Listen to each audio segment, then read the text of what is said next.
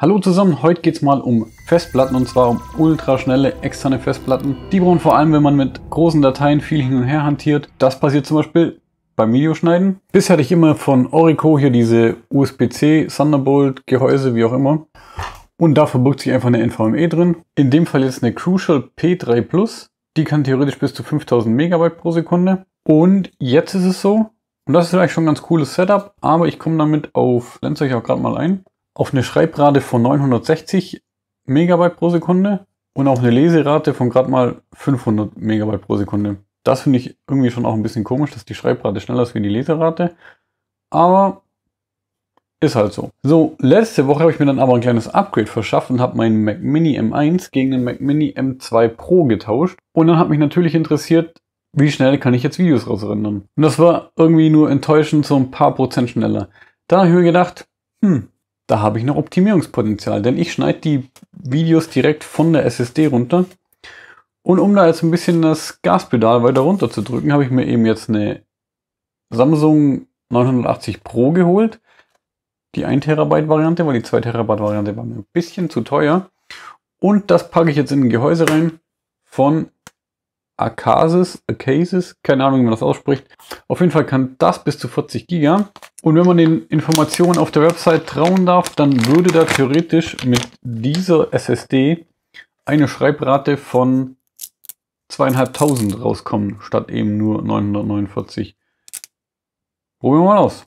Im Lieferumfang enthalten ist ein USB-Kabel, die Gummipfropfeln, die die SSD runterhalten und ein Wärmeleitkleber und natürlich das Gehäuse selber.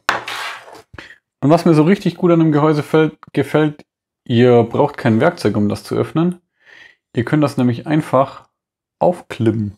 Heißt, hier feste drücken und das Ding ist auf. Und dann sehen wir auch schon das Innere von dem ganzen Spaß. Und dann nehme ich mir hier meine 1 Terabyte Samsung NVMe, pack die hier so ein bisschen schräg rein und wundert euch nicht, dass das jetzt hier so nach oben steht. Das ist normal, das muss so sein. Denn jetzt kommt hier dieser Gummipfropfen zum Einsatz. Der wird einfach hier reingesteckt. Und dann kann man das Ganze hier runterdrücken. Und dann sitzt diese wunderbare SSD hier sicher in ihrem neuen Zuhause. Jetzt muss man noch irgendwie ermitteln, welcher von den beiden Wärmeleitdingern hier von der Dicke her besser ist. Ich weiß ehrlich gesagt gar nicht so genau, wie ich das machen soll drum. Ja, das geht auf jeden Fall gut zu. Probieren wir halt mal den anderen aus. So viel macht es auch nicht aus. Also, ja, probieren wir halt mal, ob das auch noch gut zugeht. Ja, das geht aber, passt glaube ich schon auf. Ja, dann würde ich sagen, wir nehmen einfach das dickere. Das ist ja auch ein bisschen flexibel. Den Lappen einfach hier drauf. Der wird dann ordentlich für Kühlung sorgen oder für den Wärmeabfuhr, für die Wärmetransport hierher. So, und dann nehme ich mir mein USB-Kabel und steckt den Lachs hier mal an.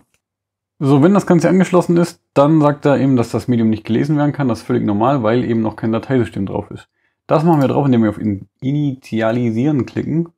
Nothing happens at all. Ja, da passiert jetzt einfach gar nichts. Was passieren sollte, ist, dass das Festplattendiagnoseprogramm aufgeht und wir dann hier die 89 Pro sehen, die eben noch nicht initialisiert ist. Und dann sagen wir um löschen. Ja, das war ein guter Name. Ja. APFS oder exFAT wären jetzt hier meine bevorzugten Dateisysteme. Ich nehme einfach nur NVMe 89 Pro.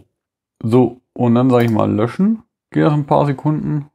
Hier kann ich jetzt mal ignorieren sagen. Die Meldung geht eh nicht mehr weg. Fertig.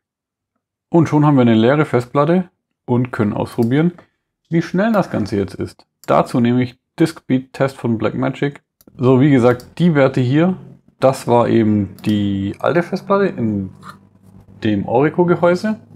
Und jetzt sage ich Select Target Drive, nehme mir die neue Festplatte und dann ballern wir mal wieder. Oh, wow. Yep. Das nenne ich mal ein Upgrade. Geil.